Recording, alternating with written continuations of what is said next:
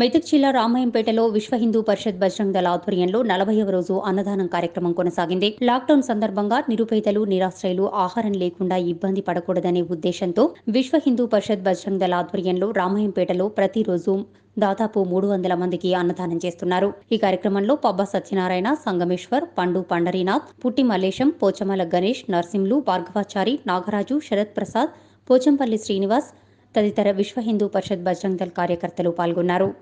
గత నలభై రోజుల నుంచి విశ్వ హిందూ పరిషత్ భద్రంగల ఆధ్వర్యంలో సేవా కార్యక్రమం నిర్వహించడం జరుగుతుంది.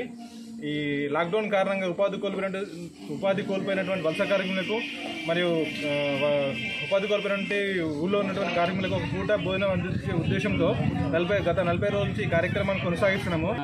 వీధిలో పడుకునేటువంటి కొన్ని పేద నిరుపేదలైనటువంటి వారు అలాగే బస్ స్టాండ్ రైల్వే స్టేషన్లో మిగిలిపోయినటువంటి ఆ యొక్క ప్రయాణికులు అలాగే వలస కార్మికులైనటువంటి వందల వేల కిలోమీటర్లు కాలినడకనటువంటి వెళ్తున్నటువంటి ఆ యొక్క కార్మికులకు మధ్యాహ్న భోజనం అలాగే సాయంత్రం ఉదయం అల్పాహారం కూడా ప- పంచుతూ గత నలభై రోజులుగా యొక్క కార్యక్రమం నడుస్తుంది.